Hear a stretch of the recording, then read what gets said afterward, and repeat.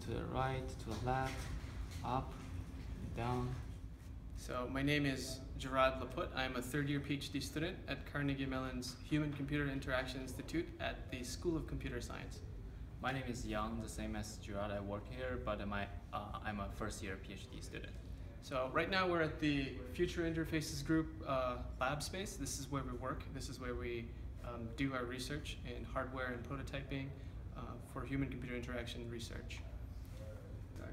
SkinTrack is a te technology we de developed for smartwatch uh, so that we can track the finger's touching position on the skin surrounding the smartwatch. We want to figure out how we can expand what you could do on the smartwatch by, and beyond just the screen itself because your fingers are fat people want the smartwatches to be tiny and they rely on touchscreens so our question was how do you make the smartwatch bigger without actually making it bigger And uh, when I put on the device on my wrist,